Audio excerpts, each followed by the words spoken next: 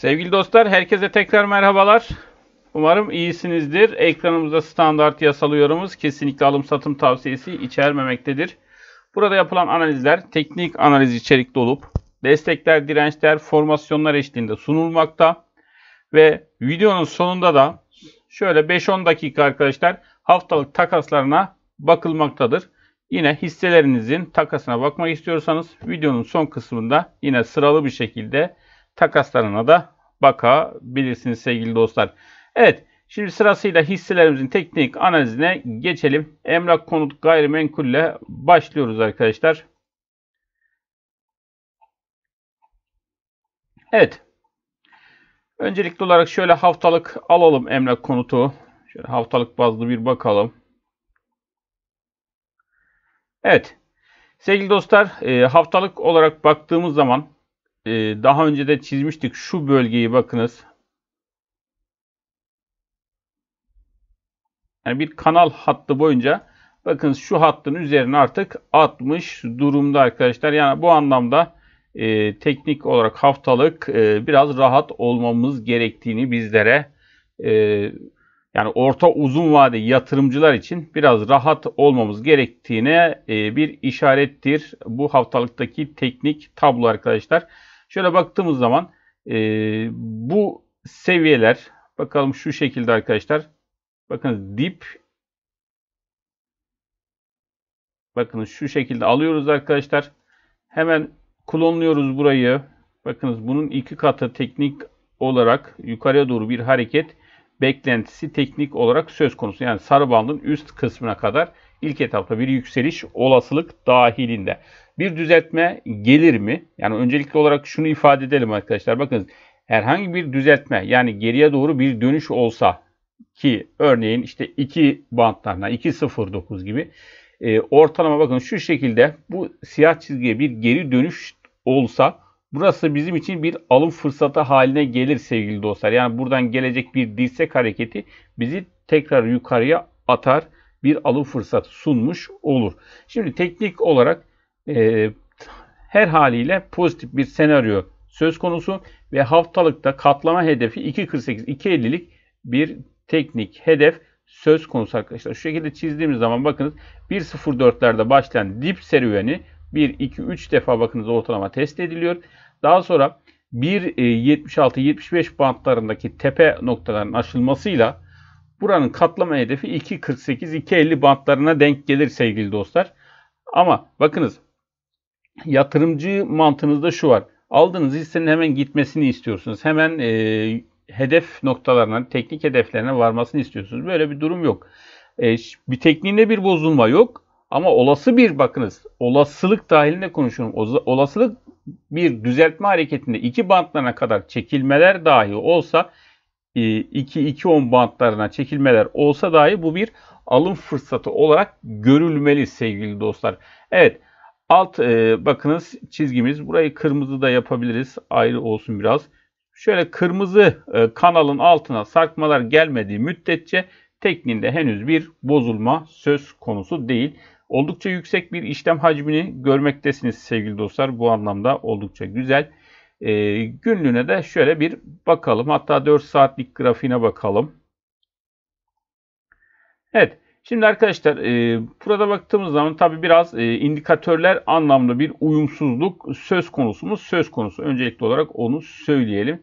E, indikatör anlamda bir uyumsuzluğun olduğunu söyleyebiliriz. Şimdi şu bölgedeki çanak e, katlama hedefine şöyle bir bakalım. E, 4 saatlik grafik üzerinden arkadaşlar. Hemen e, tepe ve dip noktalarını alıyoruz şu şekilde.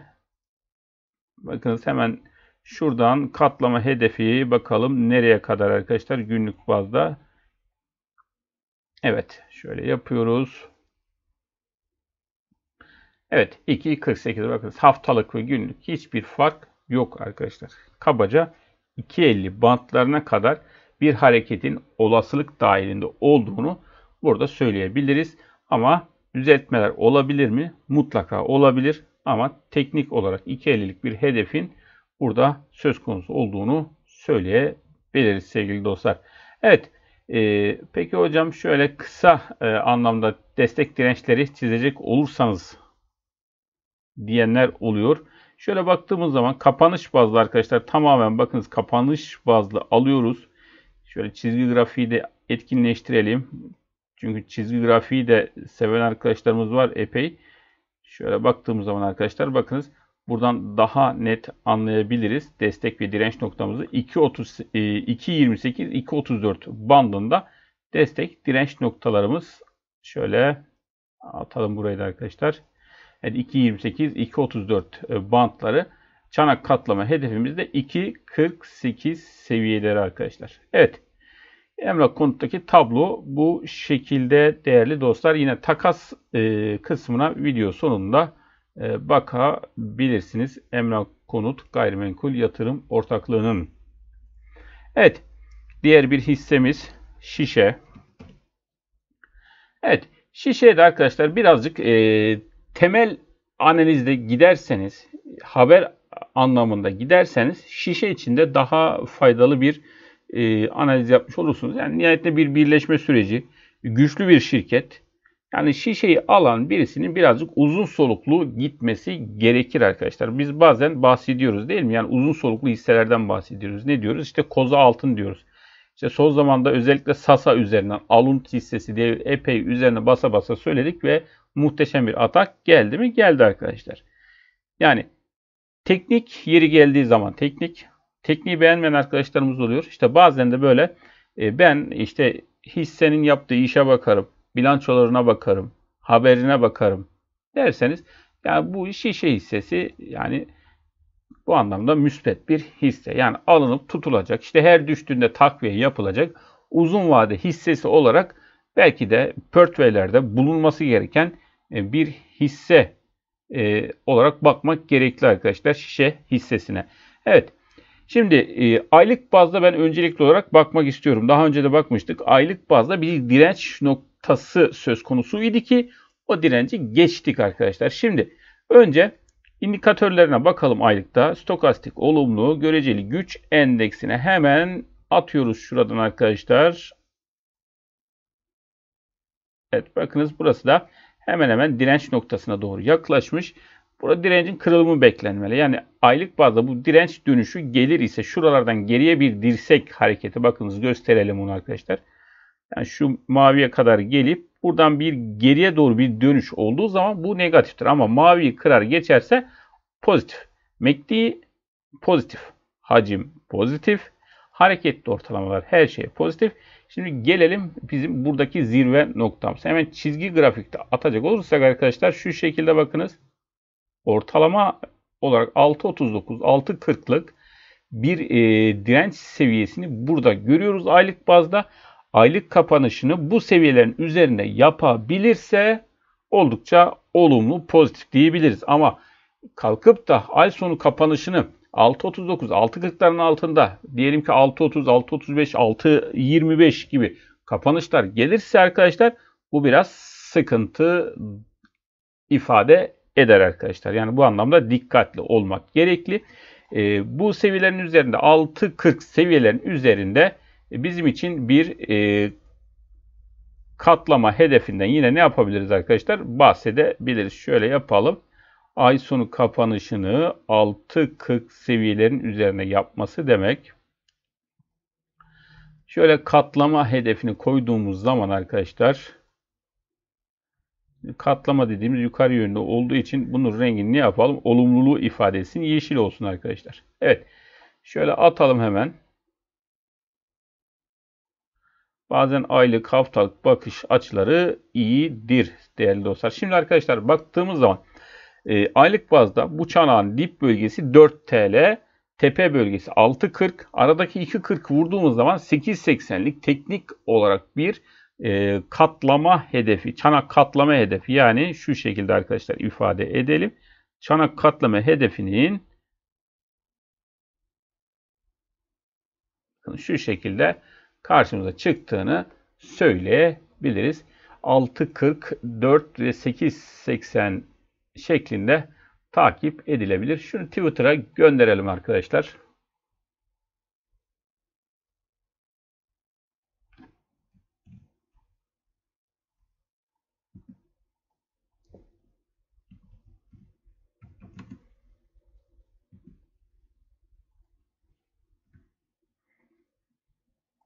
Evet. Twitter'a hediyemiz olsun. Şimdi arkadaşlar e, bahsettiğimiz gibi 6-40 seviyelerin üzerinde bize aylık kapanışlar gerekli. Umarım e, bu şekilde kapanışla ayı sonlandırırız. E, bu anlamda da tabi e, doların e, da bir artış meydana gelir ise tabi bu anlamda da yine e, piyasalarda herhangi bir negatif durum olsa dahi bakınız arkadaşlar dolar fazlası bir şirket olduğu için e, bu anlamda da e, pozitif olarak da yansıma potansiyeli var arkadaşlar. Yani herhangi bir riske karşı da böyle e, savunma hissesi olarak da görebiliriz şişe hissesini. Evet biz gelelim şimdi 4 saatli arkadaşlar. Evet 4 saatlik grafik e, bazında baktığımız zaman yine burada bakınız küçük bir çanak oluşumuna doğru gitmekteyiz. Hemen bu çanak katlama hedefini buradan alalım arkadaşlar. Burada 6.64 seviyeleri arkadaşlar. 6.64 seviyeleri üzerinde bir kapanış gelir ise bakınız teknik olarak gelebileceği nokta 7.16 7.15 seviyeleri olarak karşımıza çıkmış olacak sevgili dostlar. Evet buradaki tablomuzda bu şekilde e, günübirlik e, düşünenler için diyelim 6.64 seviyeleri üzerindeki kapanışlarda 7.15'lik teknik hedefimiz söz konusu olacaktır. Evet. Şişe için e, şimdilik söyleyeceklerimiz bunlardan ibaret. Bir de şu alt e, destek noktası bakınız yine burası da önemli arkadaşlar. Mavi destek çizgisi yine baz alınabilecek bir nokta. Yine EMA 21'i burada bakalım. 6, 26, 6, 25 e, bantları yine bir destek noktası olarak da kabul edilebilir. Dilerseniz bunların fiyat etiketini yapıştıralım. Daha sonra 6.65 niçin fiyat etiketi yapıştırılması denmesin. Dip bölgemiz 6.12 EMA 21'imiz kaçmış arkadaşlar? 6.26. Evet 6.26, 6.12 desteklerimiz 6.65, 7.15'te sırasıyla direnç noktalarımız değerli dostlar. Evet diğer bir hissemiz Aselsan. Evet son zamanlarda yine takasını oldukça beğendiğimiz hisselerden bir tanesi idi Aselsan. Evet takas ve tekniği harmanladığımız zaman arkadaşlar karşımıza neler çıkıyor biliyor musunuz? Aselsan çıkıyor, Afyon çıkıyor, Coca-Cola çıkıyor. Bakınız takas ve tekniği harmanladığımız zaman işte bu şekilde sizlere getiri sağlayabilecek e, analizler ortaya çıkabiliyor. Önemli olan bu ikisinin ortak bir şekilde pozitif ya da negatif olduğuna karar verebilmekte arkadaşlar. Evet, e, aylık bazda Aselsan geçmiş dönemdeki yani geçmiş yıllardaki diyelim hemen çizgi grafik olarak atıyorum. Bakınız daha önceki tarihi zirvesine neredeyse yaklaştı, yaklaşacak arkadaşlar. 33 43'lük bir aylık kapanışı var. Hocam işte daha önceki zirve noktası ne yapacaksınız diye sorabilirsiniz. Yani daha önce gelmiş olduğu 46 bantları var. Artık burası arkadaşlar uç bir nokta. Yani olağanüstü e, mal kitleme bölgesi. Yani öyle diyelim. Yani şu bölge e, bizlere malın kitlendiği bölge arkadaşlar. 46 bantları. Yani esas olan burada ay sonu kapanışını baz aldığımız zaman 33 40 33 bantları önemli bir bölgeydi. Şimdi bu direnç noktasına gelmiş durumdayız. Tabi burada artık yatırımcı belki de e, buradan e, satışlar gelebilir mi tereddütünü yaşamakta. Şimdi ona günlük bazda da geleceğiz arkadaşlar. Aynı şişedeki tablo burada yine hakim daha önceki zirve noktası. Şu şekilde arkadaşlar katlama hedefimiz ortalama. Bakınız tamamen bunlar teknik çalışmalar arkadaşlar. Yani şimdi kalkıp da iki gün sonra bu hisse geriye döndüğü zaman bu niye geriye döndü? Sen hocam bir çanak çizdin oraya o çanağa niye gitmedi? Bakınız yatırımda arkadaşlar böyle bir mantık olamaz. Yani şimdi daha önceki zirveye bakınız geldiği yıla bakın arkadaşlar. Yani 2017'nin Eylülleri, Ekim ayları. Bakın şu bölge. 2017. 3 yıl geçmiş arkadaşlar buradan. Bakın 3 yıl geçmiş bu bölgeden. Şöyle baktığımız zaman bakınız 1034 gün. Bakınız 1034 gün arkadaşlar. 3 yılı burada ne yapmışız? Devirmişiz. E şimdi biz burada bu e, aylık bazda ortalama diyelim ki şöyle atalım buraya fiyat etiketini. Daha önceki zirvemiz neymiş arkadaşlar? İşte 33 50 bantları diyelim. Ortalama kabaca arkadaşlar 33-50 seviyeleri. Bakın daha önceki ay sonu kapanışı itibariyle. Şimdi bu seviyenin üzerinde 33-50, 34 bu seviyelerin üzerinde kaldığımız zaman yukarıya gelecek ataklar yavaş yavaş sindire sindire gelecek yükselişler bizi ilerleyen zamanda teknik olarak 46-50 seviyelerine götürecektir. Çünkü çanak formasyonu gereğince. Arkadaşlar. Yani şimdi burada kalkıp da hocam niye gitmedi? Şuradan yukarıya gidip işte 36'ya geldi. Daha sonra tekrar 33'e düştü. Misal ya bu şekilde sistemler falan olabiliyor bazen. Birazcık e, yürümesi, yol alması için zaman tanımak gerekli arkadaşlar. Evet. Önemli olan bu aşamada kademeli yol alabiliyor muyuz? Sorun o. Şimdi bir tane yatırımcımız e, sağ olsunlar e, yani ben sizin kanala abone olurum ama diyor ben diyor araştırırım bakarım geçmiş dönemlere 24 Mart'taki videoları bulmuş bizim ve orada şu ifadeleri kullanmışız. Artık kademeli olarak e, girmek gerekli. İkinci bir dip dalgasına karşı bir kısmı nakitte ama kademeli bir şekilde artık borsaya girmek gerekli ifadesini kullandığım arkadaşımız aktarmış. Yorum kısmında da var. Ee, yani bazen dengesiz yorumlar yapanlar olsa da oldukça müsbet, güzel yorumlarla da karşı karşıya kalabiliyoruz. Bu YouTube aleminde, Twitter aleminde, Instagram aleminde artık neyse. Ee, şimdi arkadaşımız bu şekilde diyor. Yani arkadaşlar zaman tanımak lazım. Kademeli e, yani ölü noktalarda veyahut da direnç kırılımlı noktalarında kademeli bir şekilde yol almak gerekli. Yani şu kademeli alımı öğrendiğimiz takdirde biz e, bu işi kavrayabiliriz arkadaşlar. Yoksa kademeli alım yapmayıp aha burada direnç kırıldı işte 33 50'lerde direnç kırıldı ben hemen atlayayım buradan ne var ne yok alayım derseniz arkadaşlar yani bu seviyede 33 50 30 60 burada ben gireyim ne var ne yok alayım derseniz buradakine benzer hadi diyelim ki şu şekilde bir geri dönüş ondan sonra buralarda oyalan geri çekilmeler falan filan sizi belki de yukarı götürmek istemeyecekler tahta yapıcılar. Yani bu anlamda sabırla ve kademeli bir şekilde yol almasını bilmemiz gerekli arkadaşlar. Bu Aselsan'da olur, şişede olur, diğer önemli kırılımlar sağlayan, şartlarını sağlayan hisselerde olur. Hiç önemli değil. Önemli olan e, tahtanın spek olmasın arkadaşlar. Hissenizin, e, şirketinizin ne iş yaptığını, gelecekteki e, yatırımlarını, gelecekteki alacakları, tahsilatları, borçları vesaire bunların hepsine bakın. Uzun vade bir yatırım yapacaksanız ve bu şekilde yol almaya bakın. Evet, e, şimdilik burada söyleyeceğim önemli bir direnç 33-64 seviyelerin üzerinde kapanışlar 34 diyelim kabaca kapanışlar gelirse teknik anlamda artık e, burada 48-49'lu rakamları telaffuz etmeye başlayabiliriz değerli dostlar. Evet bakınız bu olumlu senaryoyu çiziyor olmam sizleri yanıltmasın. Bakınız araştıracaksınız. Bir de sabır, sebat ve tedbiri elden bırakmayacaksınız arkadaşlar bu direnç noktalarında. Evet.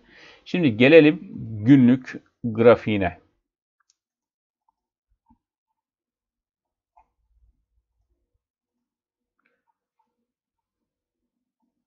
Şimdi tabi günlük grafiğimiz geldiği zaman aylıkla olan o tepe zirve noktası hemen değişebiliyor sevgili dostlar.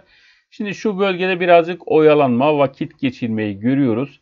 Bakınız e, bu seviyelerde eğer geri çekilme olur ise MA 21 altı mesela 32 seviyelerin altı e, yine te tehlike oluşturabilir mi? Oluşturabilir. Bu anlamda dikkat etmek lazım. Şu şekilde burayı çizelim arkadaşlar. Kapanış bazlı ortalama 31-40-31-50 seviyeleri önemli bir e, destek noktası. Hemen direnç noktamıza şöyle attığımız zaman yine kapanış bazlı. Burada da arkadaşlar 32-76 bantlarına denk gelen bir bölge söz konusu. Şimdilik pozitif tablo e, halen hakim durumda arkadaşlar. Her ne kadar bakınız yatay bir seyirde belirli bir dönem devam etse de artık burada yine bir kopuş noktasına doğru gitmiş durumda. Yine hareketli ortalamalar bizim için her zaman geçerli olan. Bakınız bunu her zaman e, anlatıyorum size arkadaşlar. Bir trend bozulduğu zaman, bir kanal e, artık diyelim ki destek hattı kırıldığı zaman. Bakın şuradan hemen gösterelim. Şimdi bazen e, bazı arkadaşlarımız da bu hatayı yapabiliyor. E, veyahut da yatırımcı arkadaşlarımız. Şimdi destek kırıldı mı çık git sonra tekrar gir. Arkadaşlar böyle bir mantık yok. Bakınız bu mantığı size anlatmaya çalışıyorum defalarca. Şimdi sadece destekle bitmiyor. Yani bu denli bir güzel yükseliş var ise burada kendimize indikatörleri baz alacağız ve özellikle hareketli ortalamaları baz alacağız arkadaşlar. Bakınız hareketli ortalamalarımızda 5-9 kesişmesi var ama herhangi 5-9-21 yok. Yani bu anlamda hareketli ortalamalar da birbirine yakın. Onun için biz direkt burada e, destek kırıldı biz burayı terk edelim. Yani bu mantık yanlış bir mantık arkadaşlar. Yani şu şekilde bu şu desteğin kırılmasıyla burayı terk etmiş olsaydınız yani 31-26 bantlarında terk etmiş olsaydınız e, şu anda 32-76 bakınız. Yani bu bir e, puzzle gibi düşünelim arkadaşlar. Yani bu parçaları e, destekleri, dirençleri, işte formasyonlara, indikatörleri, hareketli ortalamaları hepsini puzzle'ın bir parçası olarak düşünün. Yani bir parçası eksik oldu mu e, sonuca e, gidemeyiz. Yani tamamını resmin oluşturamayabiliriz. Burada da böyle arkadaşlar. Yani düşen kırıldı hemen çıkalım. Yok böyle bir durum yok arkadaşlar. Çünkü hareketli ortalamalar henüz satış üretmiş değil. Ve de Zaten daha önceki bakınız bir direnç noktası şurada hakim arkadaşlar. En azından bunu düşünelim. Yani bu direnç noktasını düşündüğümüz zaman şu şekilde e, katlama hedefi anlamında arkadaşlar bakmak gerekli. Bakın şurada katlama hedefine baktığımız zaman teknik bize der ki e, 30-40'ın altına inmediğin müddetçe senin bir çanak hedefin var. Evet 30-40'ın altına düşmediğin müddetçe senin bir çanak hedefin var. Ve bu çanak hedefine hemen e, birçok hissede bu gerçekleşmez. Yani bazı hisselerde uçar gider o ayrı mesele ama bu şekilde yatay yatay gidecek, bu yatay kırılacak, seni dökecek. Yani bunları düşünmek lazım arkadaşlar. Teknik olarak burada e, günlük bazda 40 TL'lik bir çanak katlama hedefi söz konusu. Biraz önceki 48 aylıktaki genelin katlama hedefi arkadaşlar. Onu karıştırmayalım. Burada ki çanak oluşumu sadece şu kısma ait olan kısım. Evet. Burada ana destek noktamız hemen fiyat etiketini yapıştıralım. Ana destek noktamız arkadaşlar 30.40. Yani bunu bir kenara koyalım. 30.40 30.40 bizim ana destek noktamız. Bunun üzerindeki destek noktamız 31 34 seviyeleri. Şimdi Burada bir de bakın şu mavi çizginin üzerine atabilirsek burada yemede yanında yat diyebiliriz arkadaşlar. Yani şöyle baktığım zaman kabaca 33.80 seviyelerinin üzerine atabilirse burada hareket daha da seri hale gelebilir diyebiliriz. Evet şimdilik tablomuz bu şekilde arkadaşlar. 31, 34, 30, 40 şeklinde sıralı desteklerimizi kullanabiliriz. Ama aylık ve günlükteki bu katlama hedeflerinde göz önünde bulundurmak gerekli arkadaşlar. Evet yine takasına bakalım arkadaşlar. Aselsan'ın video sonunda takasına da bakmış olalım. Güneş sigorta. Evet belki de en çok böyle güzel giden kazandıran hisselerden bir tanesi diyebiliriz. Gerçekten muhteşem. Evet pandemi öncesine bakın pandemi sonrasına yani bana mısın demiyor. Gitmiş de gitmiş arkadaşlar. Şimdi belki de biz teknik analistlerin en çok zorlandığı noktalardan bir tanesi e, diyebiliriz bu noktayı. Artık hedefine varmış. Hedefine vardığı için artık burada bir de e, böyle yatay fazla gitmeden artık dikine yol almayı başarmış hisselerden arkadaşlar. Bakınız gerçekten muhteşem bir gidiş. Şimdi burada teknik olarak bizim yine bakacağımız bu şekilde uç bir noktada en azından EMA 5'i kullanabiliriz. EMA 9'u kullanabiliriz. Destek noktası olarak 4.90, 4.71 gibi bantlar şimdilik bir destek noktası halinde yer almakta arkadaşlar. Bakın 4.90, 4.70 bizim sırasıyla EMA 5 ve EMA 9 desteğimiz. EMA 21 desteğimiz 4.46, 4.50 bandı da EMA 21 desteğimiz sevgili dostlar. Evet Şimdi şuna bir de aylık bakalım arkadaşlar. Bakalım aylıkta önemli bir şey var mı? Daha önceki zirve. Oo, aylıkta almış başına gitmiş arkadaşlar. Evet. Ne denir ki? Yani artık bizim e, statüden çıkmış arkadaşlar. yani öyle söyleyelim. Bizim analiz yapmakta zorlanacağımız bir hal içerisinde. Şimdi indikatörlerde bir bozulma var mı? Stokastik olum MACD indikat e, göreceli güç endeksinde bir sıkıntımız yok. MACD indikatörü zaten yeniden alım üretmiş. Bu anlamda bir sıkıntımız yok. İşlem hacmi güzel.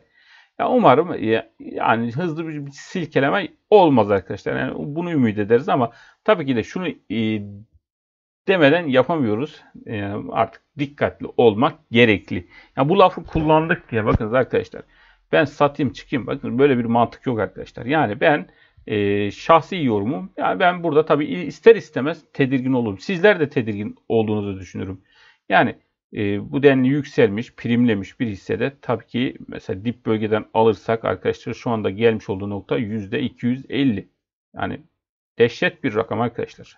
Yani onun için tabii ister istemez e, burada dikkat önem arz ediyor arkadaşlar. Şimdi burada e, tabii önemli olan noktalardan bir tanesi formasyonumuz. Ne arkadaşlar burada gerçekleşen formasyonumuz? Şöyle baktığımız zaman bir Tobo formasyonu. Şimdi Tobo'yu her zaman anlatıyoruz. İşte bu genel resmi görebilirsek işte birçok hisseden aslında istifade edebiliyoruz. İşte BİM AŞ'den bahsettik de BİM'de gitti yani nihayetinde bir yükselişi sağladı. Tobo var dedik. Birisi dengesiz birisi. Yani bu dengesizlere illaki laf söylesim geliyor. Tutamıyorum kendini. Dengesiz çok. Ya senin çizdiğin nasıl bir tobo? Böyle tobo mu olur? Yazmış da yazmış birisi bize özelden. E, milleti yanlış yönlendiriyorsun, yönlendiriyorsun falan. Biz kimsenin aklına girmiyoruz arkadaşlar. Yani senin o kıt aklın toboyu kavramıyorsa biz ne yapalım? Yani o senin kıt aklın anlamıyor diye burada e, millet şöyle yapıyorsun, bilmem kendin şöyle yapıyorsun. Yani buna hiç gerek yok arkadaşlar. Burada bariz bir şekilde arkadaşlar şurayı sol omuz olarak kabul et. Bak sol omuz burası. Burası baş. Yani bunu görmek için sana ne yapmak lazım? Şurayı da sağ omuz olarak düşündüğümüz zaman arkadaşlar al sana Tobo. Daha ne istiyorsun? Yani bakın şu kırılıma bakın. Yani resmen sanat eseri gibi çizmiş. Beyefendi işte bu tarz şeylerde işte BİM hissesinde yani buna özel değil de BİM'de aynı benzeri bir durum varken Tobo dedik laf atmıştı bize. Yani sıkıntılı insan çok piyasada maalesef. Şimdi yani burada bu bir Tobo formasyonu arkadaşlar. Bakın bu formasyon teknik olarak hedefi nedir? Diple tepe kadar yukarıya gitmesidir tekniği arkadaşlar. Şöyle koyduğumuz zaman bakınız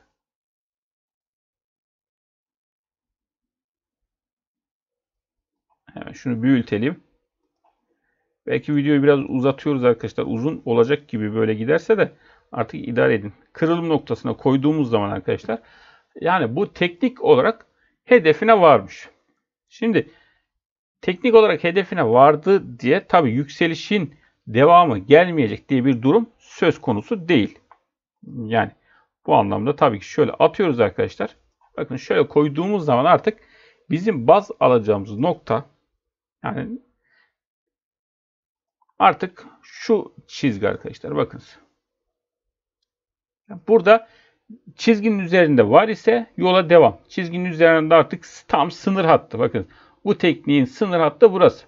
Bakalım bu seviyenin üzerinde kalabilecek mi? Yoksa artık buradan bir geri çekilme olacak mı olmayacak mı? Bunu zaman gösterecek ama hedef noktasına varmış olan tam da böyle hedefinde olan bir güneş sigortamız var arkadaşlar. Güzel de kazandırdı. Umarım daha da gider.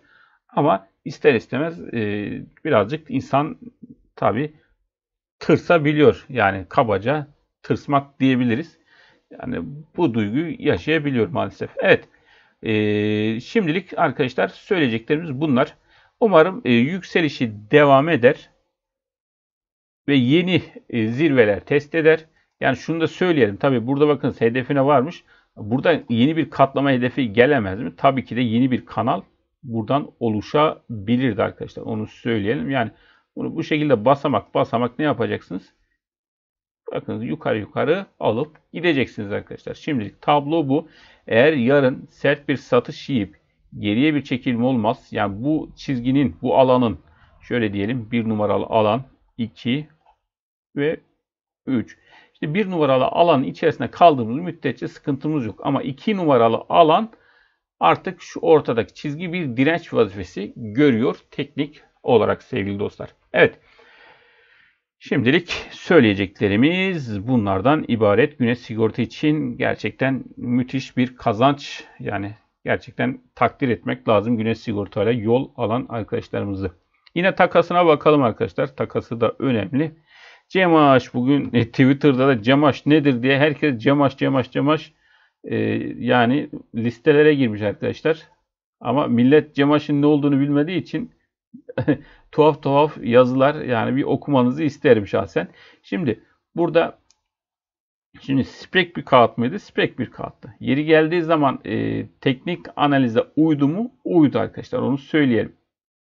Yani yeri geldi tekniğe göre şekil aldığı dönemler oldu ki şu bölgede olduğu gibi bakınız. Biz daha önce bu hisseyi bakın şu bölgelerde arkadaşlar bu hisseyle yollara ayırdık. Ee, bakın şu bölgelerde 2.30 2.40 yolumuzu ayırmıştık. Sert düşüş denk geldi. O gün çok iyi hatırlıyorum. iki tane arkadaşımız birisi Galatasaray maçı vardı. Geç saatlerde 12'lerdeydi o zaman uyuyakalmış, e, elinden çıkaramamış. Bu sert düşüşe maruz kaldı. Bir arkadaşımız da aynı şekilde. Biz nasip artık buralardan çıkmayı başardık ama çıkamayanlar için gerçekten kabus dolu zamanlardı arkadaşlar. Bu zamanlar bakınız e, görüldüğü üzere. Bir de arkadaşlar şu e, yani spek hisse deyip geçmeyelim. Yani şimdi tahta sahibi şöyle şu bu hakaretler küfürler arkadaşlar bunlar gereksiz. Ya bu hisse bizim hisse mi? Türkiye borsasında işlem gören bir hisse mi? Hisse.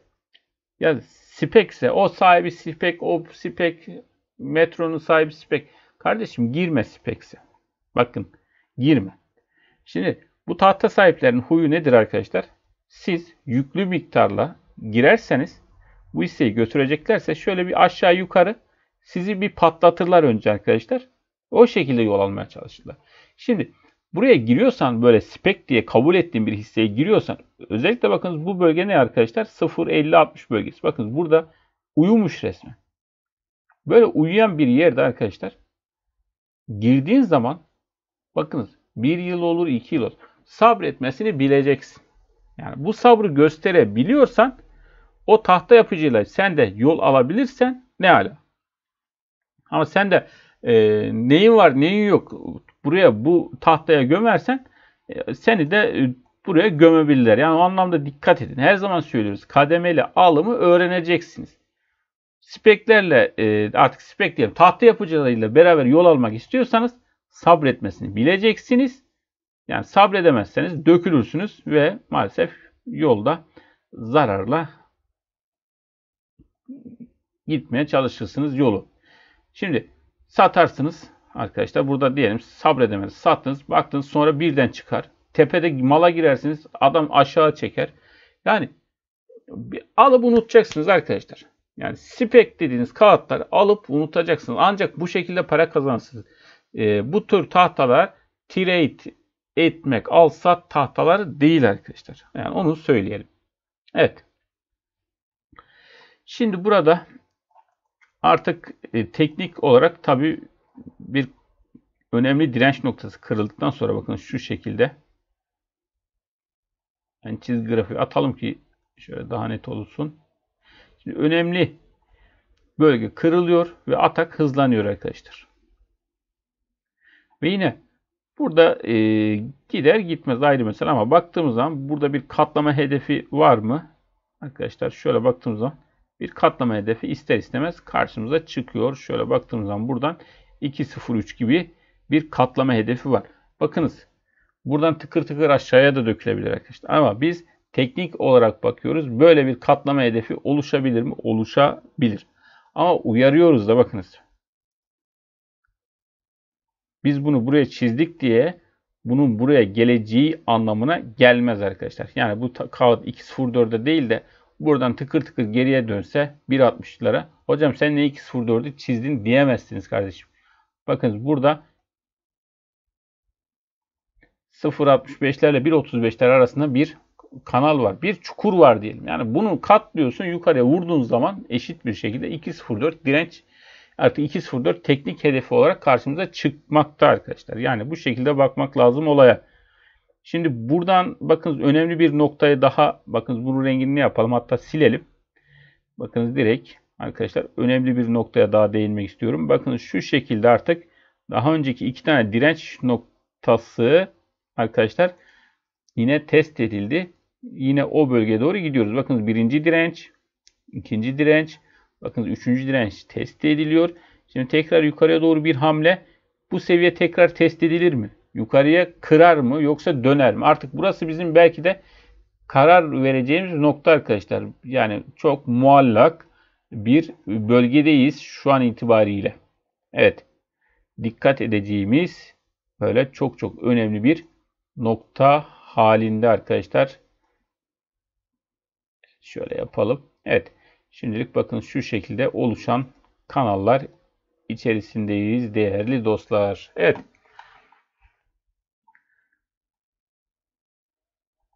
Umarım e, şu ortadaki mavi çizginin altına sarkmalar olmaz arkadaşlar bu saatten sonra. Eğer bu sarkma olursa geriye çekilmeler yine yaşanabilir.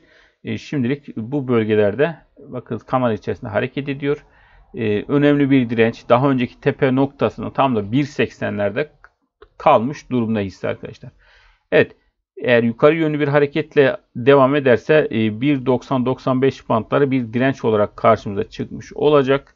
E, burada da artık üst bant kırılıp kırılmayacağını takip edeceksiniz arkadaşlar. Yani şu mavi çizginin üzerine atabilecek mi atamayacak mı? Bunun takipçisi olacaksınız. Bu da ortalama işte 1.92, 93, 95 değişir arkadaşlar. Daha ileri giderse şuralarda kırılım gelse 1.97.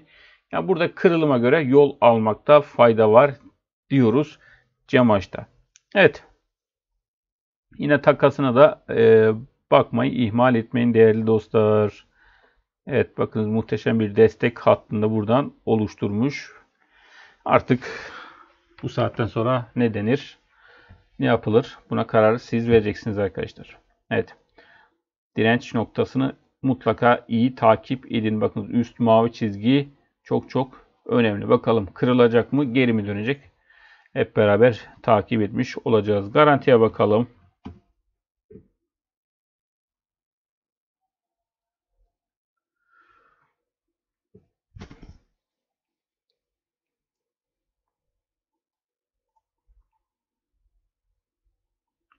Ah şu bankalar dediğinizi duyar gibiyim arkadaşlar. Şimdi bankalar neyi fiyatlıyor olabilir? Yani bu çizgilerin içerisine bir şeyler giriyor arkadaşlar ama ne giriyor? Yani bankalar acaba e, diyelim ki birçok ne yapıldı arkadaşlar? Kredi verildi. Yani şimdi işsizlik olayı, işlerin kötüye gitmesi pandemiden dolayı, ödenemeyecek krediler, borçlar vesaire. Acaba bankaların primlemesi bu mu? Düşük faiz mi? Yani bütün bunlar fiyatın içerisine eğer giriyor ise bakınız bütün bu olumsuzlukları burada fiyatlıyor ise bu bankalar e, yani bunun yabancının girişiyle toplu alımların başlamasıyla sert atakları da görebilir miyiz? Görebiliriz arkadaşlar. Yani uzun soluklu artık düşünülecek hisseler grubunda garanti hissesi diyelim. Evet. Şimdi baktığımız zaman arkadaşlar burada hemen şu şekilde alalım. Sıkışmadan bahsetmiştik daha önce. Bu sıkışmaya göre yol haritamız çizilmeli demiştik. Bakın bu sıkışma arkadaşlar aşağı doğru kırılarak sonlandı. Yani görüldüğü üzere. Şimdi Burada artık teknik olarak e, yön negatif. Bütün hareketli ortalamaların altında kalmış. Hareketli ortalamalar hep bakınız üstte arkadaşlar. 5, 9, 21, 50, 100, 200 hepsinin altındayız şu anda.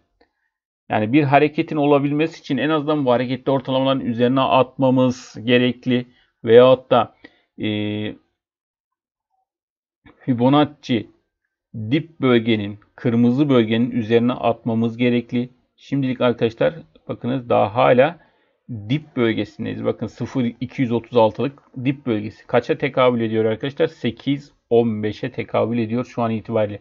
8.15 seviyelerinin altında e, teknik anlamda halen dip bölgedeyiz arkadaşlar. Evet. E, burada esas olan arkadaşlar hareketin seyri anlamında bakınız kırılım bizim için biraz daha esas olur. Bakın şu tepe noktası birinci direnç. Bakın şurada ikinci direncimiz oluştu. Ve üçüncü direncimiz bakın şurada oluştu. Biraz büyütelim daha net görürsün. Bazı arkadaşlar telefondan izliyoruz hocam diyorlar. Evet. Şöyle baktığımız zaman arkadaşlar bakın 3 tane tepe noktası. Burada esas olan arkadaşlar bu nokta kırıldığı an yukarı yönlü işte o zaman sert ataklar baş gösterir. Şimdilik bu kırmızı bölgenin içerisi sıkıntılı arkadaşlar. Kaçmış değerimiz? 8, 10, 5.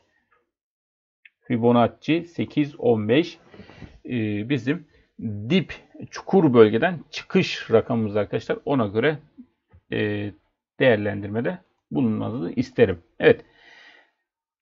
Stokastikte e, yukarı yönlü bir e, pozitif ivmelenme söz konusu. Bu güzel arkadaşlar. Stokastik bakınız yukarı yönlü e, 20 bandının üzerine hem mavi hem de kırmızıyı atak halinde görüyoruz. Umarım buralardan bir atak gelir. En azından bakınız yatay e, bölge bakın şu seviye bizim için artık son destek noktası olur diyelim arkadaşlar. Şöyle bakalım. Yani burası da kaçmış? Ortalama işte 7.50 bantları. Hocam ne yaptın sen 7.50'ye getirdiğimizi demeyin. Ben çiziyorum arkadaşlar.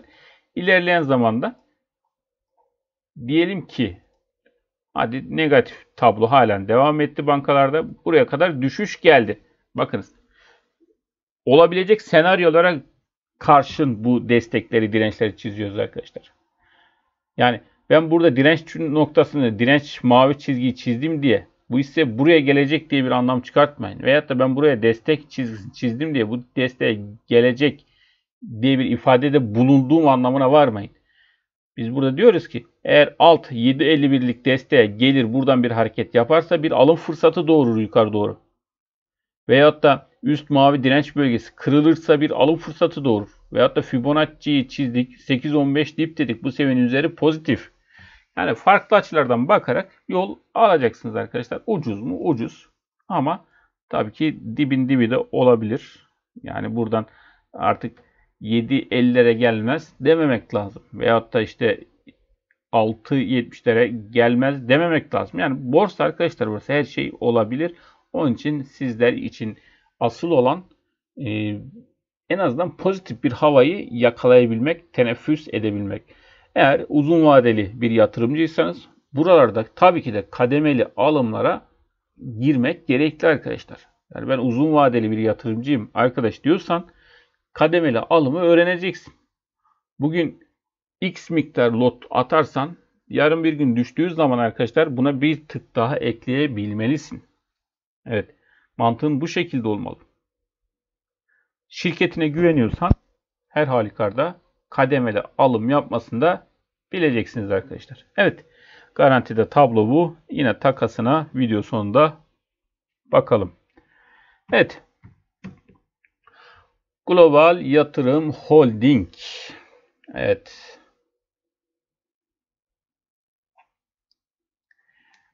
Tüm hareketli ortalamalar anlamında pozitif arkadaşlar. 50-200 kesişmesi Golden Cross gerçekleşmiş pozitif. Evet. Bugün güzel de bir yükseliş gerçekleştirmiş. Evet. Şimdi arkadaşlar bakın burada bir yükselen kanal trendi ve bu kanal trendinin artık direnç noktasının test edildiğini görmekteyiz. Şimdi şu tepe ile dip bölgesi arasındaki fiyat farkına şöyle bir bakalım arkadaşlar. E, epey de var. Şöyle yapsak bir tık ileride %10'luk. Şimdi e, burada dip ve tepe noktasında bakınız yüzde en az şöyle yüzde onluk bir fark oluşabiliyor. Bu anlamda tabi dikkat etmek lazım. Güzel bir yükseliş artık kanalın direnç noktasındayız. Bakalım e, burada artık arkadaşlar devamı gelecek mi? Ama baktığımız zaman yani hareketli ortalamalar bize güzel destek oluyor arkadaşlar. Yani bu anlamda özellikle MA 21'i görüyoruz. Çok başarılı bir destek. Bakın bir, iki defa destek olmuş durumda burada. Yani oldukça güzel. Ama tabii ki ister istemez insan e, önemli destek noktalarında burada baz almak sorun, zorunda arkadaşlar. Bakın o destek noktaları neler? Hemen şöyle atalım. 4.25 bakın en önemli destek noktamız artık bizim 4.25 arkadaşlar. Bakınız. Şimdi bu bölgeyi bir kenara not alın. 4.25. Bir gün ola ki bu seviyelerde bu hisseyi gördünüz. Bakın ola ki diyorum arkadaşlar. Şekilde bir hareket size bir alım fırsatı doğurur. Evet, geçmişten gelen önemli bir çizgi olduğu için. Şimdi tepe noktalarına baktığımız zaman e, teknik olarak 5.28'lik bir teknik hedefimiz söz konusu arkadaşlar. Evet.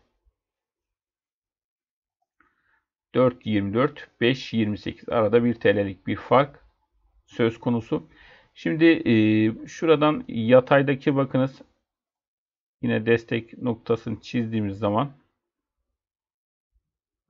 Evet 4.70 seviyelerde yine bizim için en yakın destek noktamız arkadaşlar. Evet. Bakın şu bölgede 1, 2,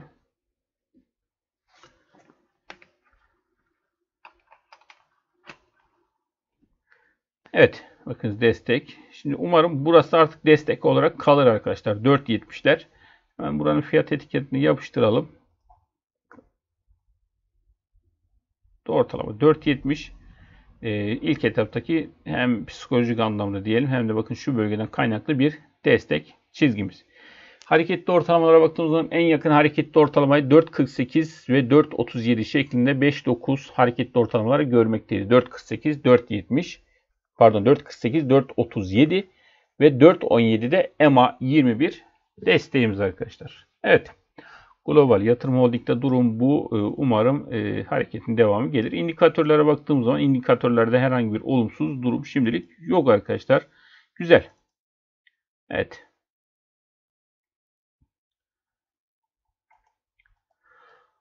Umarım 5.28 e, zirveyi tekrar yoklar ve buraların üstüne de yolculuk devam eder arkadaşlar. Şimdi aylığına bakalım Global Yatırım Holding. MACD indikatörü güzel. Görüldüğü üzere.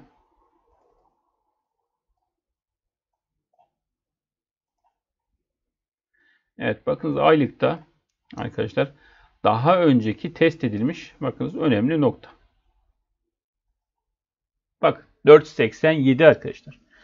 Aylıkta 4.87'nin üzerinde bu hisse yok arkadaşlar. Yani ona göre dikkat etmeniz gereken bir direnç bölgesindeyiz. Bakınız. Niçin aylıkları gösteriyoruz bu videomuzda? Yani birkaç hissede de gösterdik. Çünkü önemli direnç noktalarına geldik artık. E, yani buralar e, geçilir ki ay, ay sonuna da artık şurada ayın 3'te 2'si bitti. 3'te 1'i kaldı. Şimdi artık bu kapanışlar aylık bazda bizim için önemli. Yani global yatırım holding aylık kapanışını 4.87'nin üzerinde yapabilecek mi? Evet. Bakınız görüldüğü üzere 4.87'nin üzerine daha önce bir dolu mum yok arkadaşlar. Eğer bu dolu mum gerçekleşirse burada ne olur arkadaşlar? Bir fincan kulp formasyonu aylık bazda söz konusu olabilir. 4.87 üzerinde. Hemen bunun fiyat etiketini yapıştıralım şu şekilde. Yani kabaca 4.90 diyelim arkadaşlar. Bakın. 4.90 üzerinde bir fincan kulba doğru gidebilir. Yani takipçisi olacaksınız hissenizin arkadaşlar. 4.90 üzerine gittiğimiz zaman bunun katlama hedefi ne olur arkadaşlar? Şöyle baktığımız zaman dip tepe aldığımız zaman yani onu da ifade edelim. 7.28'lik e, teknik anlamda bir katlama hedefi söz konusu olabilir. Evet. Yine 4.15'lere aylık da bir önemli destek noktası olarak da 4.15'leri görmekteyiz arkadaşlar. Şöyle. Bütün hepsini yapıştıralım arkadaşlar. Evet. Tablomuz bu şekilde Global Yatırım Holding'de 4.87, 4.90'ların üzerinde kapanış gelecek mi? Ay sonu itibariyle hep beraber takip etmiş olacağız arkadaşlar. Evet gelelim Afyon'a. Evet Afyon hem tekniğiyle hem de takasıyla ne yaptı arkadaşlar? Yüzleri güldürdü. Değil mi? Yani takas oldukça önemli olduğunu bakınız burada gördük arkadaşlar. Muhteşem bir toplu alıma ne yaptı Afyon? Şahitlik etti. Ve bunun semeresinde karşılığında ne yapmış olduk? Almış olduk. Şimdi aylık bazdaki kapanışlara niçin dikkat çekiyoruz arkadaşlar? Hemen bakalım şu şekilde. Bakın buradaki zirve noktası arkadaşlar neymiş daha önce aylık kapanışta? 3.31. Bakınız. 3.31. Şimdi buralarda bakınız ne yapıyor arkadaşlar? Neredeyse 2, 4, 6, 7, 8 ay bakın şu 3.30 bandında ne yapıyor arkadaşlar? Oyalanıyor. Ve gelip bu şekilde 3.30'un üzerine bakınız attığı zaman yani diyelim ki bu ay hangisi? Haziran ayı 06. 3.30'larda burayı kapatmış. Diğer ay geliyoruz 7. ayda 3.30'un üzerinde seyrediyoruz. O zaman değerli dostum sen 3.30 bandını desteğini koyacaksın. Yol alacaksın. Şimdi sadece şu tabloda arkadaşlar bakınız birçok inişler çıkışlar olmuştur. Biz bunu aylıkta düz bir e, mum olarak görüyoruz değil mi? Sadece safi bir yükseliş ama e, bunun günle çevirdiğimiz zaman şu şekilde hareketleri var değil mi? İşte burada rahat olmamızı sağlayan bu aylık direnç kırılımları arkadaşlar. Aylık direnç kırılımları bize biraz rahat olmamızı ne yapıyor? Sağlıyor. Şimdi burada yine çanak katlama hedefini biz yine baz almış olacağız arkadaşlar. Şimdi bakınız Kesinlikle yanlış anlaşılmasın. Burada hedefine varır varmaz onu biz bilemeyiz ama teknik olarak bakın şu şekilde bir hedefi söz konusu arkadaşlar. Hemen katlamasını yaptığımız zaman şöyle klonlayalım.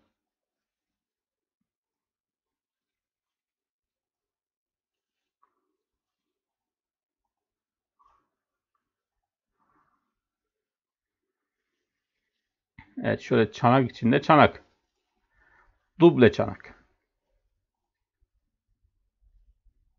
Çanakçı geldi arkadaşlar. Evet. 5 33 arkadaşlar. Bakın şu çanağın kopma noktası 3.30. Dip noktası 1.30.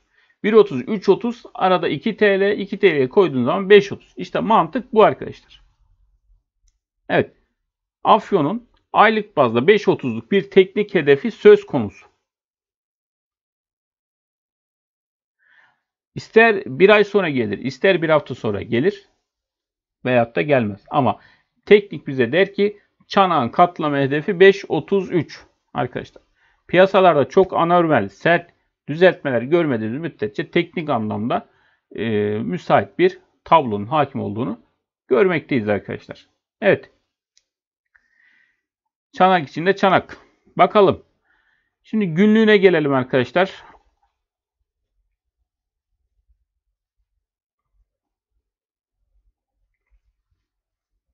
Evet. Stokastik güzel. Tekrar yukarı doğru ivmelenmiş. İşte göreceli güç endeksi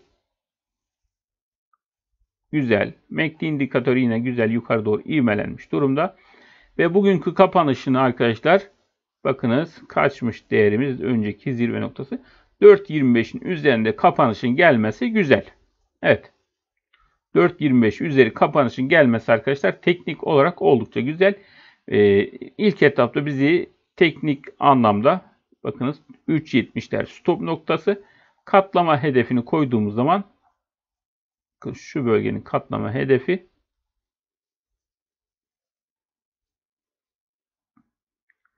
4.76. Evet. Günlük bazda arkadaşlar 4.25 artık destek 3.73 ana destek şeklinde takip etmiş olacağız. Evet. Şimdi burada e, yine konuyu Tobo'yu getireceğim. Tobo beğenmeyen bir grup var. İstedikleri kadar beğenmesin. Arkadaşlar yamuk da olsa bir sol omuz, baş ve sağ omuz. Geldi mi formasyon? Evet.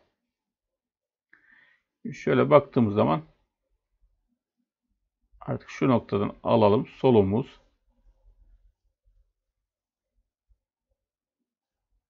Evet.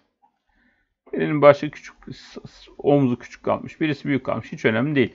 Birinin omuzunun yarısı yok. Sıkıntı değil arkadaşlar. Evet. Tablo bu. Afyon'da. Günlük grafik. Peki formasyon hedefi nedir? Teknik yine bize der ki derinlik kadar yukarıya yol gitmelisin değil mi? İşte tekniğin gelmiş olduğu nokta. Bakın 4.76 4.85 Evet. Arkadaşlar tablo bu. Yani bu hisse için 3-12 seviyeleri kritik noktaydı. Kırılım geldi. Artık formasyon tıkır tıkır işledi. Takas da oldukça güzeldi. Ara ara Afyon'un takasına baktık arkadaşlar hatırlarsanız. Oldukça toplu alımlar söz konusuydu. Hem de ciddi şekilde arkadaşlar. Yani satışlar dağınık. 40 tane kurum e, azaltıyorsa 5-6 tane kurum topluyordu arkadaşlar. İşte bunlar da Dötçe, City gibi öncü artık aracı kurumlar diyelim söz konusuydu. Ve güzel de geldi arkadaşlar. Bakalım artık 4.76, 4.85 teknik olarak bir hedef. Ee, yine tabi burada bu bizim günlük bazdaki hedefimiz ama e, aylık bazdaki hedef daha farklı arkadaşlar. Yani onda yine ne yapacaksınız? Aylık günlük kendiniz değerlendirmeye tabi tutmuş olacaksınız. Evet Afyon'da durum bu. Yine takasına da ne yapacağız? Bakacağız. Gelelim meşhur Sasa'ya. Arkadaşlar bu Sasa'da e, şöyle bir durum vardı. İlk e, Sasa hissesi hem e, vadeli de arkadaşlar Sasa hissesini görüyoruz. Yani size bir tüyo olsun bu. Onu da söyleyeyim. Şimdi arkadaşlar geçen gün şahit olduğum durum. Şimdi hissenin kendisi gitmiş %6-7 bantlarındaydı arkadaşlar. Bakın hissenin kendisi yani spotu 6-7 bantlarındaydı. Vadeliyi açtım arkadaşlar. Vadeli Sasa yani Viyop'taki Sasa %2-3 bandındaydı. Yani bu şekilde gelip gidiyor. Arada fark var.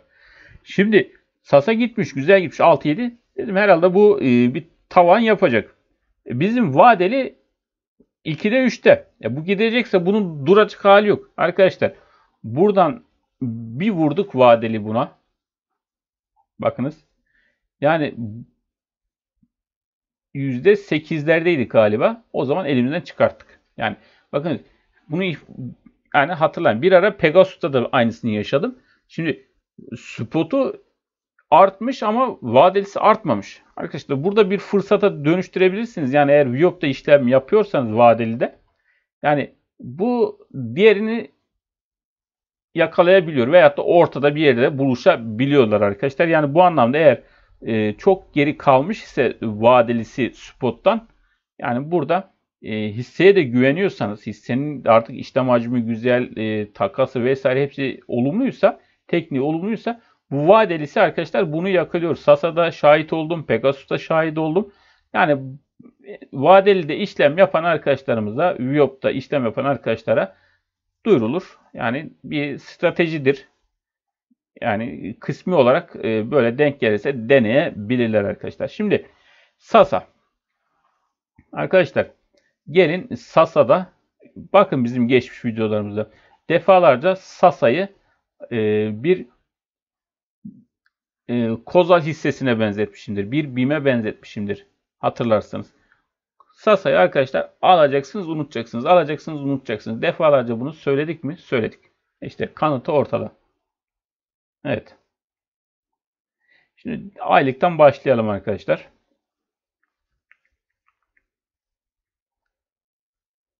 Evet. Oldukça müspet. Artık bu aşamadan sonra ne olur? Bir düzeltme gelir mi gelmez mi? Artık onu bilemeyiz arkadaşlar. Evet. Bakınız bizim o aylıkta bahsettiğimiz hani şişede işte Aselsan'da yani bahsettik ya bu katlama tam direnç noktaları bakın şu şekilde. Arkadaşlar ne diyoruz? Bakınız Diyelim ki buralarda olduğunu düşünelim 7.24'te ve aylık e, Sasa'ya bakıyoruz. Bizim burada söyleyeceğimiz ne olurdu arkadaşlar?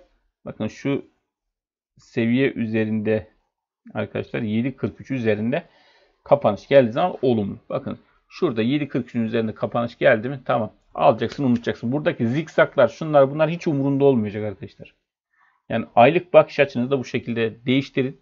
Geliştirin. Yani örnekler yapın.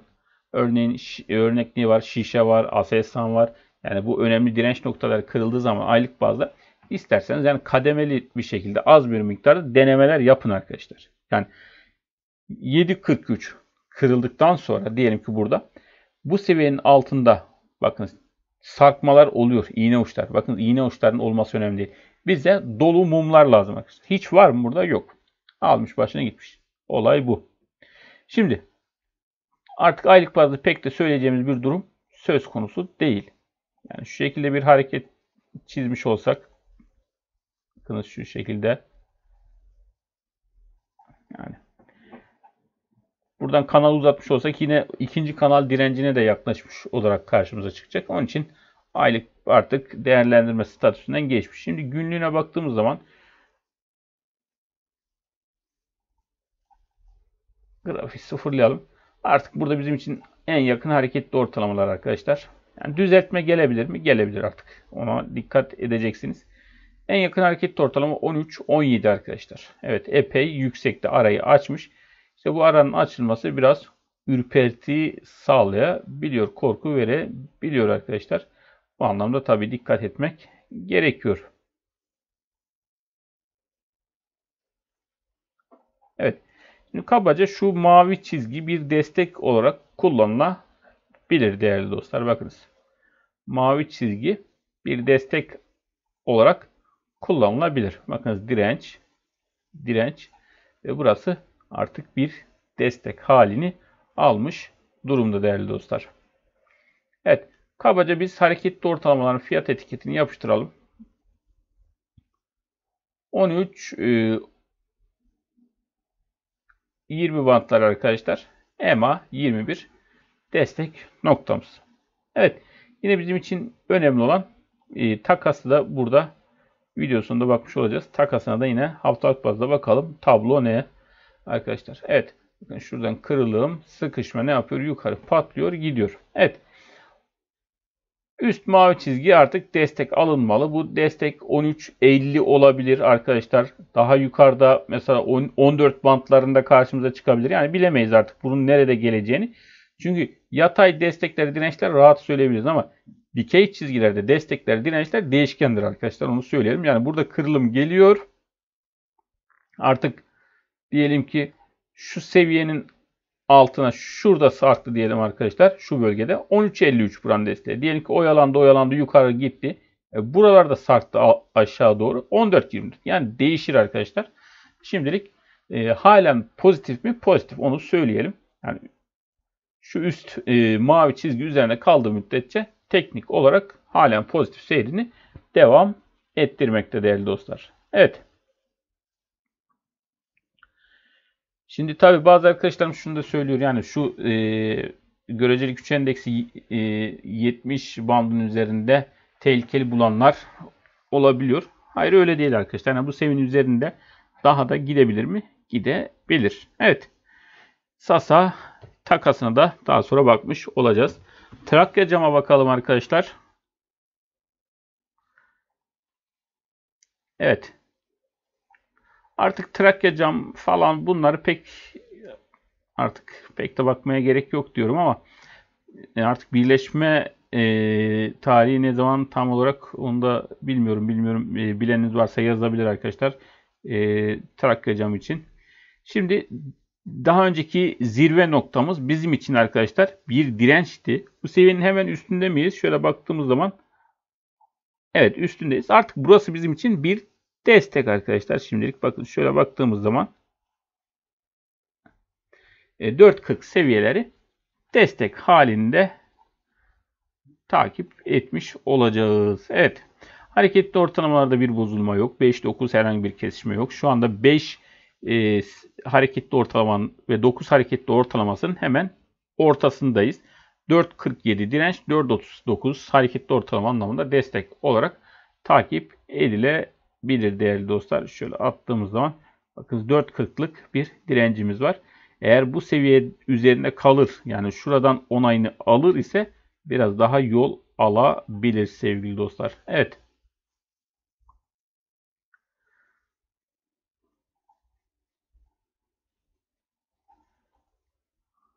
Şöyle alalım kanalı.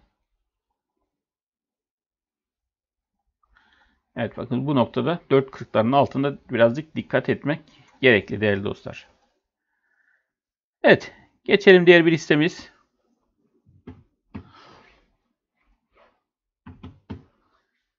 Torunlar Gayrimenkul Yatırım Ortaklığı. Evet.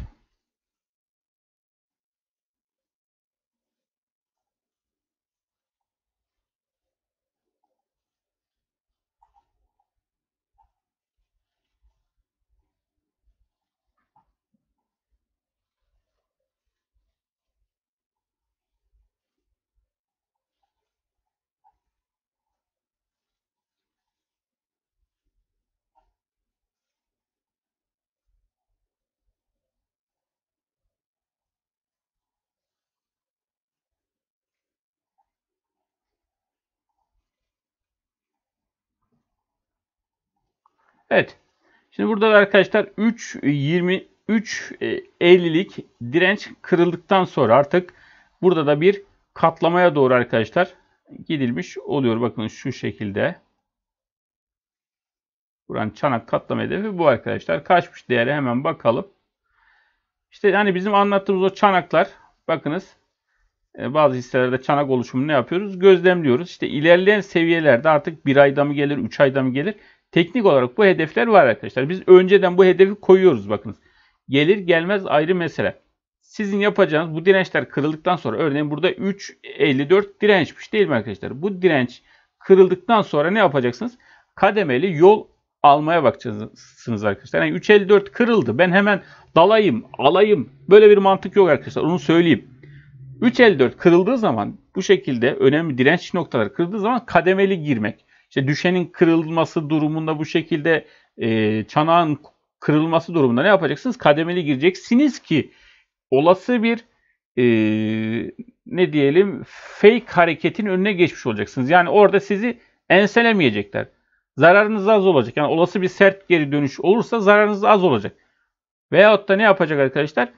E, bir onay hareketine gelirse siz daha da katmerli bir şekilde alım yapacaksınız. Şimdi buraya baktığım zaman bunda torunlarda bir onay hareketi var diye hatırlıyorum. Şöyle bakalım büyütelim arkadaşlar. Kırıldıktan sonraki tabloyu şöyle büyütelim. Evet bakınız oldukça güzel. Değil mi arkadaşlar?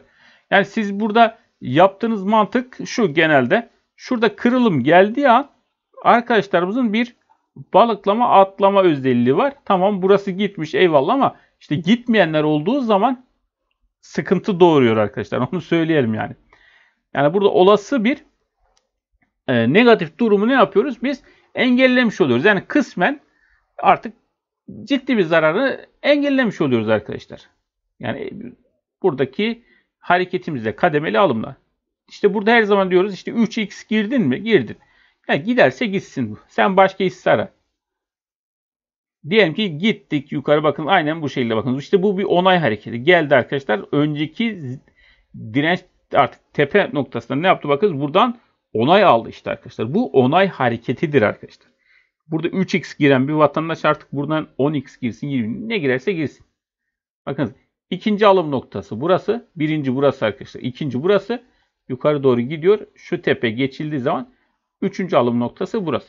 İşte biz bu üç aşamalı alımı gerçekleştirdiğimiz zaman bakınız burada aldık, burada aldık, burada şöyle ortalama bir fiyatımız olur. Riski de azaltmış oluruz arkadaşlar. Bakın riski de azaltmış oluruz. Ortalama bir maliyetle ne yaparız? Hissemizi taşıyabiliriz. Evet. Gönül rahatlığıyla bu kademeli alımın gerçekleştirdiğiniz zaman da arkadaşlar bir gün sizler de e, bu işin kazananı olacaksınız. Oyunda siz de yer almış olacaksınız arkadaşlar. Yani tamamen bir sanat eseri gibi böyle çizimler yapmış olacaksınız. Evet. Tablo bu arkadaşlar. Bakınız torunlar gayrimenkulde gösterdik. Bakınız kademeli alımı. Ne güzel değil mi arkadaşlar? Yani 3.54'lerde hadi ortalama 3.60'lar 65'ler diyelim. Giriyorsunuz bakınız geldiği nokta 5.20. Teknik hedefi 5.57. Umarım devam eder arkadaşlar bu şekilde. Bakınız daha önce ne yaptık? Bu e, kademeli alımla örnek vermiştik. Pullback değil mi arkadaşlar? Bakınız bu yükseliş onayı. Nerede gördük arkadaşlar? Tekli bir video atmıştık hatırlarsanız. Coca-Cola, Cecola. Bakın aynı mantık arkadaşlar. Şimdi açılırsa beyefendi hemen onu da gösterelim. Yani birbirine ilintili önemli olan mantık kavramanız arkadaşlar. Şimdi Coca-Cola.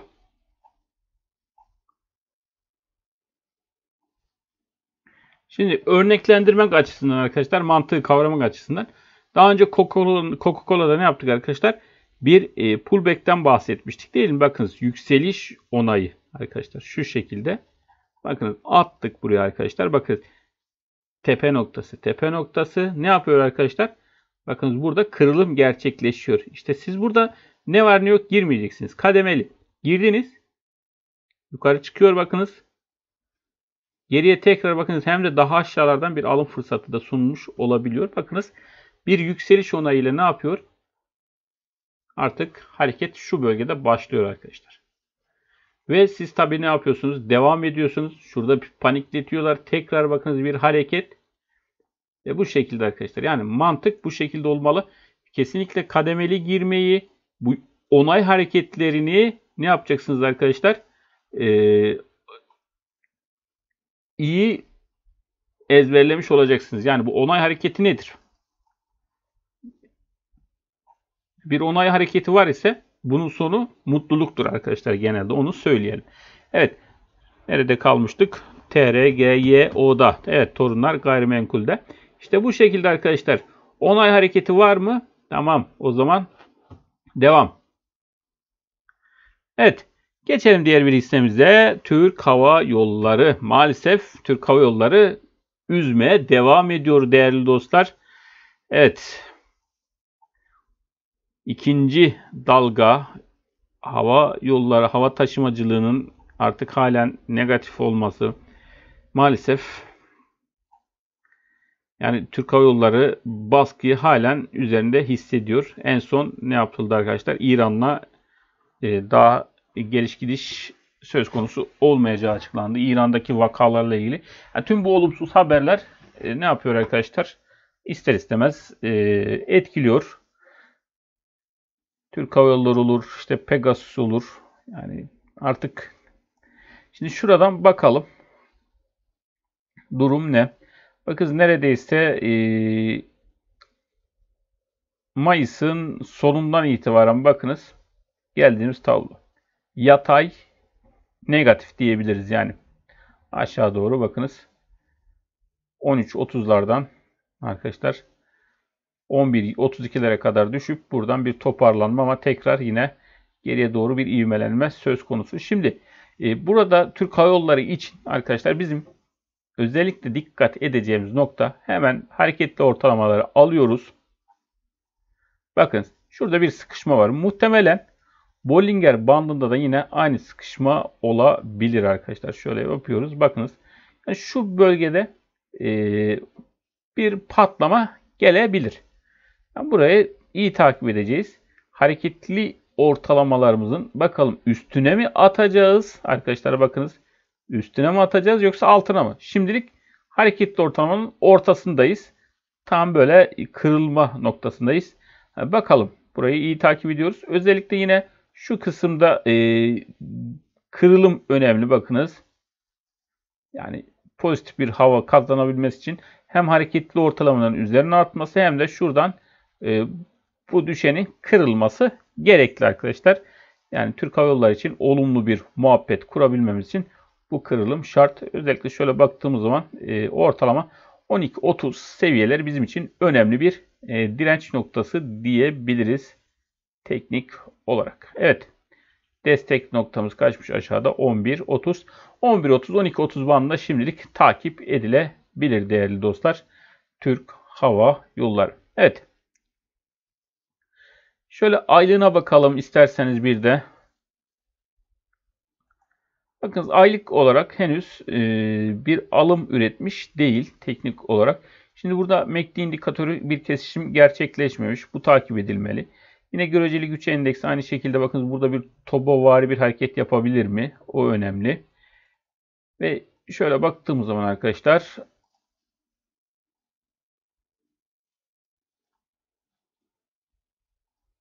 bizim için bakınız şöyle silelim.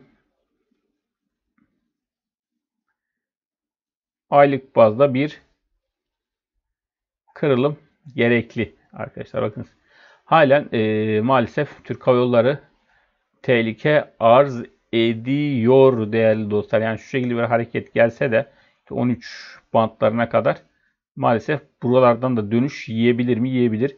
Yani aylıkta da bir kırılım şart değerli dostlar.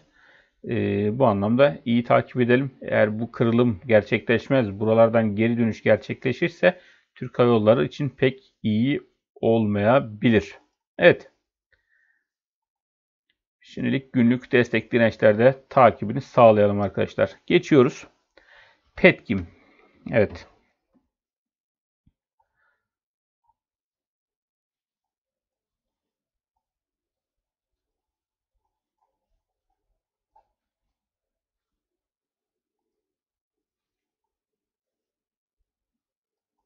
Bir yükseliş onayı olabilir mi? Şu bölge. İyi takip edeceğiz arkadaşlar burayı. Ve yine diğer bir nokta. Bakın. Petkin bir şekilde burada ne yapacağız? Kıskaca almış olduk. Şimdi şu bölgede e, mavi çizgi bakın üst mavi hatta bunu siyah yapalım. Siyah çizginin üzerine atabilirse olumlu arkadaşlar. Ortalama 4.40 seviyelerinin üzerinde e, yukarı yönlü hareket hızlanabilir. Evet. Bakın önemli durak noktalarını ne yapıyoruz? Alıyoruz. Bakın direnç destek noktalarını bakınız. Şimdi e, şurada kırılım gerçekleşiyor. Yukarı gidip bakınız tekrar geriye gelip bir onay hareketi olarak şu şekilde siyah çizginin üzerine atabilirsek e, burada olumlu tablo devam edebilir değerli dostlar. Evet. Ortalama bakıyoruz. E, direnç noktamız kaç? 4.40 seviyeleri. E, aşağıda ise MA 21 destek alınabilir. 4.18 4.40 bandında takip edilebilir Petkim günlük bazda. Şimdi aylığına bakalım değerli dostlar. Evet aylıktan MACD indikatörü güzel. Evet Petkim arkadaşlar aylıkta e, birazcık kafayı kaldırdı. Yani burada şöyle bir durum söz konusu olabilir. Yani geri düzeltmeler olsa da artık e, burada arkadaşlar bakınız çanak anlamda düşünecek olursak hafiften artık yukarı eğilimin kazandığını söyleyebiliriz. Yani buradan gelerek 5.50'leri bir gün test etme potansiyeli söz konusu mu? Söz konusu arkadaşlar teknik olarak. Evet. Ama düzeltme gelebilir mi? Gelebilir tabii ki de. Burada önemli direnç noktamız kaçmış aylıkta bakalım şöyle. 4.50 e, üzerinde bize aylık kapanış gerekli arkadaşlar. 4.50 üzerinde kapanış gerekli ki 5.50'ler teknik olarak aylıkta hedef haline gelebilsin. Evet. Petkim'in yine takasına bakalım. Vakıf Bank'a bakıyoruz arkadaşlar. Son iki, iki hissemiz biraz uzattık ama artık kusura bakmayın. Güzel indikatörlerimiz aylık bazda. Şöyle ortalama bir destek bölgesi aldığım zaman teknik olarak güzel arkadaşlar. Belki de banka hisseleri içerisinde pozitif bir e, hisse diyebiliriz. Şöyle bakalım günlüğüne de. Evet.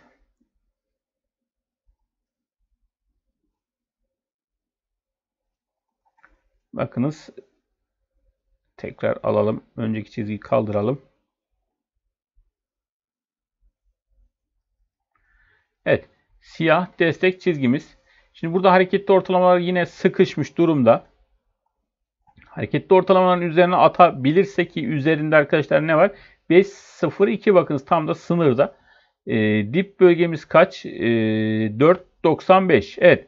4.95 5.02 bandına sıkışmış bir durumdayız arkadaşlar. Evet.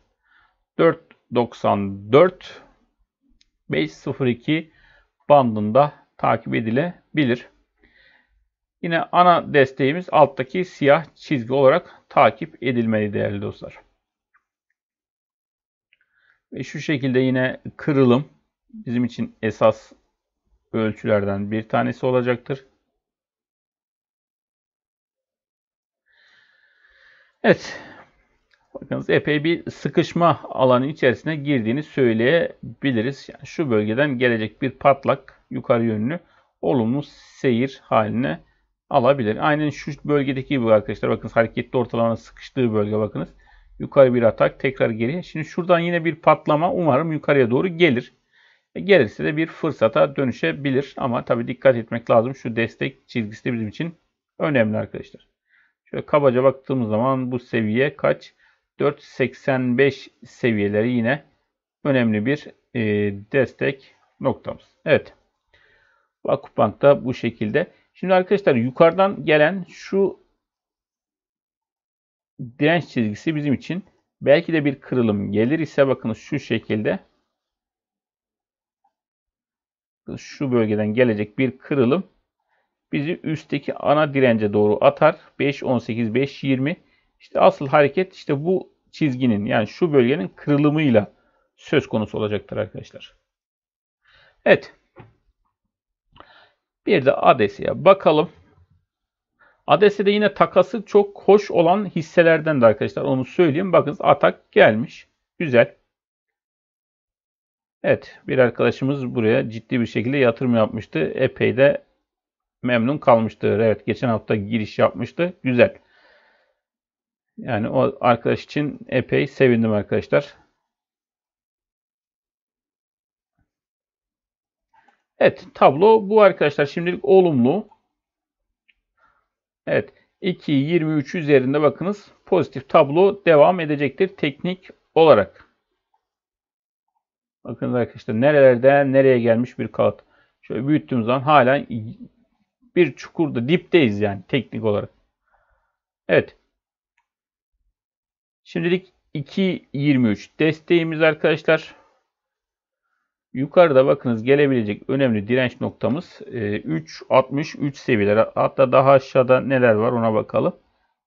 3.06, 3, 3.60 şeklinde direnç noktalarımız söz konusu. 2.23 destek noktamız arkadaşlar. Evet. Tablomuz bu şekilde umarım yukarı yönlü hareketini devam ettirir. Aylığına bakalım değerli dostlar.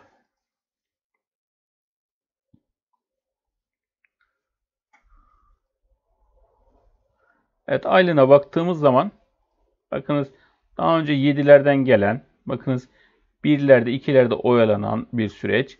İşte sabredenin bakınız buradan arkadaşlar geldiği nokta yine 7'ler. Umarım yine böyle bir atak gelir mi? Yoksa bakın şuradaki gibi bir durum oluşur? Artık onu hep beraber görmüş olacağız. Burada yine aylık bazda baktığımız zaman bakınız aylık e, dirençler daha önceki bakınız aylık direncimiz neymiş arkadaşlar? 1.72. 1.72'nin üzerinde kapanış gördün mü? Tamam. Stopunu koyacaksın oraya arkadaşlar. Hiç günlük düşüşler çıkışlar umrunda olmayacak. Evet. Tablo bu şekilde güzel. Şimdilik tüm hareketli ortalamanın üzerinde umarım güzel yerlere gelir değerli dostlar. Şimdi geçmişteki önemli direnç noktası aylıkta ne var? Şöyle bakıyoruz. 2.85. Bakın nereden kaynaklı hemen gösterelim. Bakın şuradaki direnç noktası. 2.85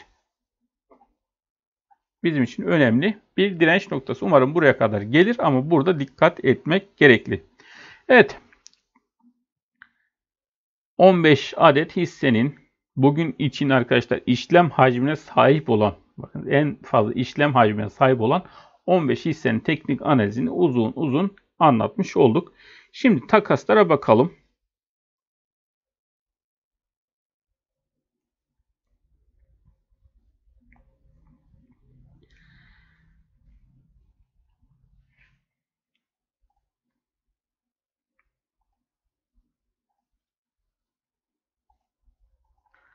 Evet değerli dostlar.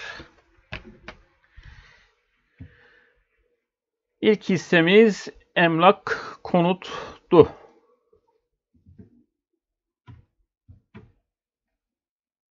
Emlak konut derken bugün yeşil gayrimenkul vardı arkadaşlar. %5 mi 4 mü yaptı? Ee, güzel bir e, noktada yani onu da söyleyeyim. Emlak konut aklıma gelince direkt hemen şu yeşile de bir bakalım. Y yeşil gayrimenkul yatırım ortaklığı. Arkadaşlar bu kapanışlar önemli. Gerçekten bakın hemen açıyorum. Bakın sadece bilgi olsun. Bakın aylık kapanışını 0.90'ın üzerinde yapmış mı yapmış. Bırakacaksın. 0.90'ın altını stopa koy. Devam et. Şimdi günlükte güzel bir noktada arkadaşlar bir filama oluşumu söz konusu olabilir burada. Bakın günlük kapanışı işte böyle bu tarz hisseler iyi takip edilmeli arkadaşlar. Bakınız. Bir filama oluşumu içerisine girdi. Ee, burada e, bir bandının altında sarkmalar olmadığı müddetçe. Ha burada tabii şu da var. Bir bandının altına sarkma. Yani bir onay hareketi de alabilir mi? Alabilir. Yani şu şekilde bakın kırılım geldi. Yani şu şekilde de olabilir. Güzel bir kırılım oldu arkadaşlar. Evet. Şimdi gelelim biz e, takaslarımıza. Emlak, konut, gayrimenkul. Haftalık takas. Aylıktan başlayalım. 29'a 36. Haftalığına bakalım. Arkadaşlar 28'e 41. E, satışlar daha toplu. Alımlar daha dağınık e, durumda. Bu anlamda tabi birazcık dikkat etmek gerekli. Satışların daha toplu olduğu bir hale girmiş durumda emlak konut. Evet ekran görüntüsünü alabilirsiniz bu şekilde. Haftalık arkadaşlar bakmış olduğumuz bakınız. Ekran görüntüsünü alıp kim alıyor kim satıyor azaltıyor bakabilirsiniz. Şişe. Türkiye Şişe ve Cam Fabrikaları. 16'ya 44 haftalık takas. Yine satışlar toplu. Evet. Burada tabi tam zirve noktasındayız. Tabi kar satışları gelebilir mi? İnsan ürpermiyor değil. Ee, 16'ya 44. Ciddi anlamda arkadaşlar. Bakınız takası negatif. Evet negatif bir takas. Ama hisse gitti mi? Gitti arkadaşlar. Aselsan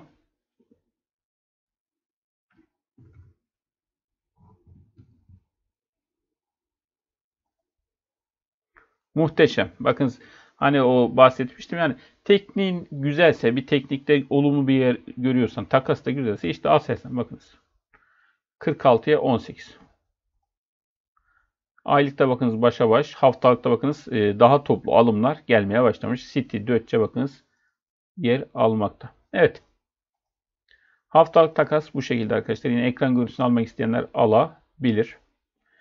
Evet. Diğer hissemiz Güneş Sigorta. 26'ya 36 yine alımlar daha toplu arkadaşlar. Kısmen pozitif. Yine ekran görüntüsünü alabilirsiniz durdurarak. Cemaş. Bakın Cemaş'ı oldukça merak ediyordum. İlginç işte bakın. Burada da 7'ye 43. Satışlar toplu. Alım dağınık arkadaşlar. Bakın olay birazcık da aylıkta kopmuş onu söyleyelim. Aylıkta 32 18. Bakın aylık bazda baktığımız zaman bu hisse toplanmış arkadaşlar. Daha toplu alım olmuş. TEP, Şeker, Citibank, Garanti bakınız. Alımlar daha toplu olmuş aylıkta. Haftalıkta biraz e, değil epey negatife dönmüş durumda takas arkadaşlar. Evet.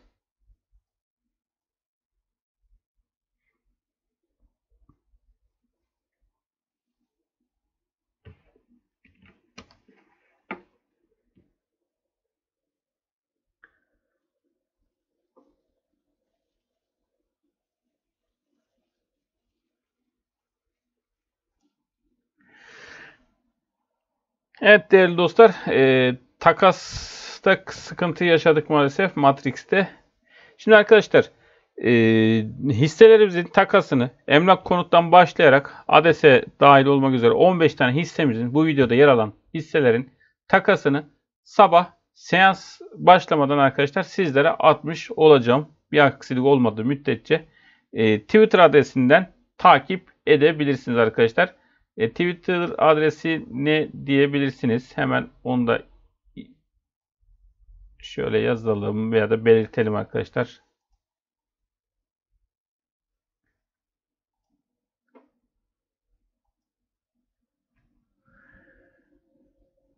Evet şimdi Twitter adresimiz